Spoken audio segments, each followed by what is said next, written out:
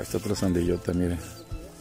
Y podemos decir que es este es el cortador y el cargador. ¿Tú eres el cargador, canal? es el acapeador. El acapeador. sí, tiene que ponerse listo porque si se le cae una sandía, imagínense, se, se abre y no queremos eso. Entonces el, el cortador, pues también deben de tener la experiencia que se necesita para saber cuándo una sandía ya está buena. Entonces aquí el acapeador, pues tiene que irlas poniendo aquí en el camino para que los carretilleros pues carguen este, las carretillas con sandía.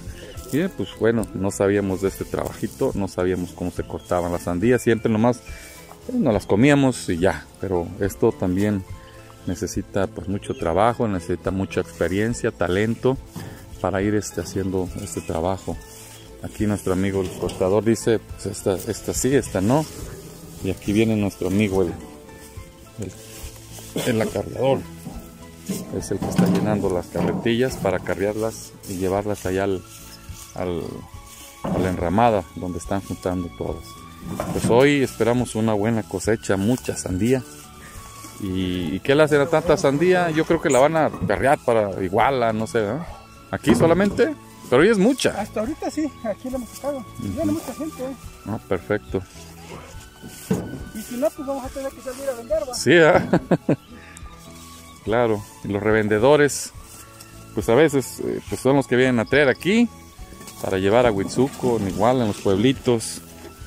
Y siempre pues andan viendo donde haya este, esta deliciosa fruta de la sandía rica en azúcares. En... que vean su video. Sí, ¿verdad?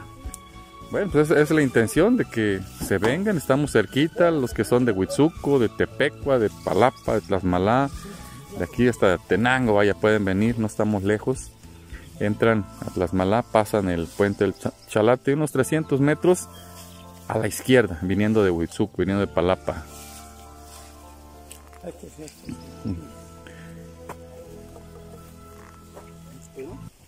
Y ahí de ese lado y hay unos arrancadores, pero también aquí nuestro amigo de este lado están este, los arrancadores.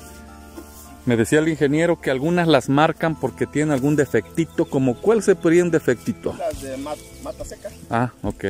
o que a están bofas, Ajá, esas ya mejor hay que marcarlas. sí. Y esas cuando viene la gente, pues esas abrimos. están para comer porque no salen no para vender, pues no. Ajá. Para- Porque para vender hay que vender calidad, Claro. ¿verdad? Calidad, exactamente.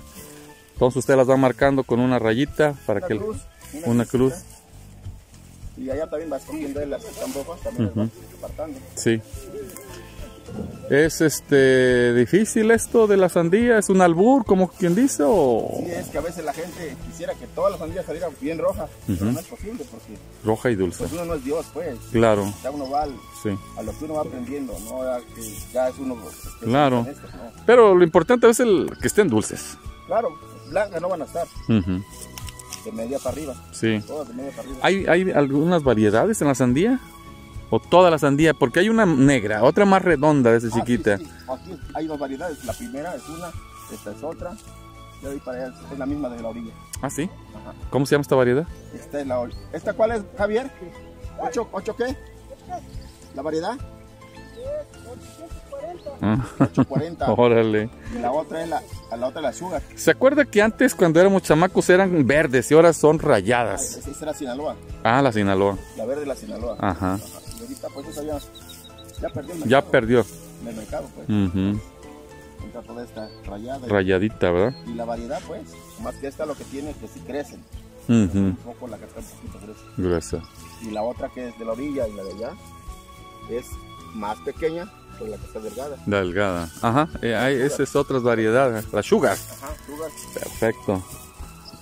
Bueno, pues este, miren, estas explicaciones a veces no las sabíamos y por eso hemos venido aquí a documentar para que ustedes también vayan haciendo la idea y vayan conociendo, porque queremos pues que, que también ustedes conozcan este bendito trabajo que es el campo. ¿Qué mi carretillero? ¿Todo bien? ¿Todo bien? Todo Eso. perfecto. señor. Ahorita vamos a comer sandía, ¿no? Sí, sí. Esto no se lleva con el mezcal, ¿no? ¿Verdad? No, no, no, pero no lo echamos. No, toda la jícama se lleva como botana con el mezcal. Pero la sandía no. Oye, carnal, tú que tienes experiencia, comer mucha sandía, ¿qué te hace? ¿Orinar mucho? ¿Te agarra diarrea? ¿Cuál es el...? Si comes mucha sandía, ¿qué pasa? ¿O nada? Nada, nomás lo hace orinar, pues. Sí, ¿verdad? Porque es pura agua. Es pura agua. Exacto, bueno, pues hay que comer sandía porque... Eso, ¿verdad? Y yo creo que como toda fruta, pues ha, de tener también sus beneficios. Pues bueno, señores, nosotros a mí ya me anda por echarme una rebanada de sandía y ya voy allá a la enramada. Ya vimos aquí cómo nuestros amigos pues andan entre, entre las matas. No le pasa nada a la mata cuando la pisas ya. No, no le pasa nada. Hay que cuidarla al principio, quizás. Sí, nomás hay que cuidar que no pisemos la Ujú. sandía. Este, ¿qué es lo que le puede caer eh, como plaga? Ah, La palomita. La, la, la enfermedad más cabrona que tenemos es la rajazón. Ah, Esa pegando la rajazón ya ¿se abren las sandías? ¿Se rajan? colgar la planta. Ujú, Y ya le da que el tizón, que el pulgón, ujú, pero la más cabrona es, el- es la rajazón. ujú. Ese es el enemigo de planta. Hay que fumigar una vez a la semana, quizás, No, ¿no? el ingeniero fumiga como cada cuatro días. Ah, Ok. Es de eso le puedo decir bien porque él lleva bien el control. Ujú, ujú. Agua, Agua, eh, este, hay que fumigarla. sí, Eh, fertilizantes, foliar. foliares y en el riego. Ah, ah, en el agua ya, ¿verdad? El agua ya también. Exactamente, sí, de eso nos hemos enterado.